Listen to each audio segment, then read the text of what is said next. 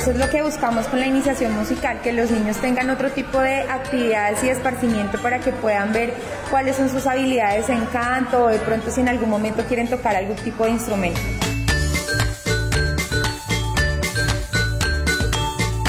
Los niños se han visto muy dispuestos, alegres, abiertos a, la expresión artística y a la expresión social, porque ellos por la pandemia venían muy retraídos. Entonces, eso ha sido como un facilitador.